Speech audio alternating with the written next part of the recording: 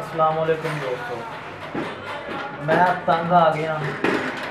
ਮੈਂ ਫੇਮਸ ਹੋਣਾ ਚਾਹਨਾ ਔਰ ਮੈਨੂੰ ਫੇਮਸ ਕਰਦੇ ਹੋਏ ਨਹੀਂ ਨਾਟ ਰਿਸਪੌਂਡਿੰਗ ਬੋਸ ਫੇਮਸ ਹੋਣ ਵਾਸਤੇ ਤੁਹਾਨੂੰ ਇੱਕ ਕੰਮ ਕਰਨਾ ਪੈਣਾ ਹੈ। ਕੀ ਕੰਮ ਕਰਨਾ ਪੈਣਾ ਦੱਸੋ।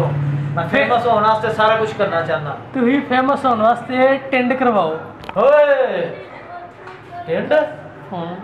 ਤੇ ਜਿਹੜੀ ਮੇਰੀ ਪਰਸਨੈਲਿਟੀ ਵਗੈਰਾ ਫਿਰ ਇਹ ਜਾਂਦੀ ਰਹੇਗੀ? ਨਹੀਂ ਪਰਸਨੈਲਿਟੀ ਕਿਉਂ? ਪਰਸਨੈਲਿਟੀ ਸਗੋਂ ਆਏਗੀ ਟੈਂਡ ਦੀ ਵਜ੍ਹਾ ਤਾਂ ਫੇਮਸ ਨਹੀਂ ਹੋਣਾ। ਅੱਛਾ ਜੀ। ਹਾਂਜੀ। ਫਿਰ ਅਨੀਬ ਸਵੈਗ ਤੇਰੇ ਕਹਿਣ ਤੇ ਟੈਂਡ ਕਰਾਉਣ ਲਗਾ ਮੈਂ। ਇਨਸ਼ਾਅੱਲਾ ਫੇਮਸ ਫੇਮਸ ਵਿਊਜ਼ ਆਣਗੇ? ਇਨਸ਼ਾਅੱਲਾ। ਲੈ ਫਿਰ ਮੈਂ ਟੈਂਡ ਕਰਾ ਕੇ ਆਇਆ ਠੀਕ ਹੈ। ਟੈਂਡ ਕਰਾ ਕੇ ਆਉਣਾ। ਲੋ ਜੀ ਭਾਈ ਨੂੰ ਚੈਲੰਜ ਦਿੱਤਾ ਸੀ ਟੈਂਡ ਕਰਾਉਣ ਦਾ। ਤੇ ਹੁਣ ਵੇਖਨੇ ਆ ਭਾਈ ਟੈਂਡ ਕਰਾਉਂਦੇ ਨੇ ਜਾਂ ਨਹੀਂ। ਚਲੋ। ਰੈਂਬੋ ਵਾਲੇ ਆ ਨਾ ਬਾਲ?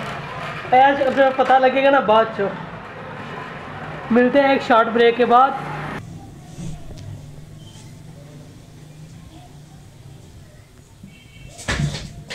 ਨੀਬ ਸਵੈਗ ਤੇਰੇ ਕਹਿਣ ਤੇ ਟੈਂਡ ਕਰਵਾ ਦਿੱਤੀ ਆ ਤੇ ਹੁਣ ਵਿਊਜ਼ ਨਾ ਆਏ ਤੇ ਤੂੰ ਇਸ ਚੀਜ਼ ਦਾ ਜ਼ਿੰਮੇਦਾਰ ਹੈ ਇਨਸ਼ਾਅੱਲਾ ਠੀਕ ਹੈ? ਇਨਸ਼ਾਅੱਲਾ ਵਿਊ ਜ਼ਰੂਰ ਆਣਗੇ ਦੇਖ ਲਓ ਜੀ ਭਾਈ ਨੇ ਸਾਡਾ ਜਿਹੜਾ ਇਸ ਚੈਲੰਜ ਦਿੱਤਾ ਸੀ ਉਹ ਕੰਪਲੀਟ ਕੀਤਾ ਹੈ ਹੁਣ ਆਵਾਮ ਸਾਡੀ ਸਪੋਰਟ ਕਰੇਗੀ। ਯੂਸਫ ਪਠਾਨ ਦੀ ਟੈਂਡ ਕਰਾਓਗੇ ਤੇ ਇੰਜ ਦੀ ਆਏਗੀ। ਹਾਂਜੀ।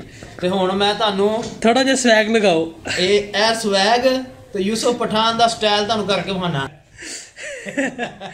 Yusuf Pathan subscribe to CCT fun channel for more fun ਮਿਲਤੇ ਹੈ ਇੱਕ ਸ਼ਾਰਟ ਬ੍ਰੇਕ ਕੇ ਬਾਅਦ।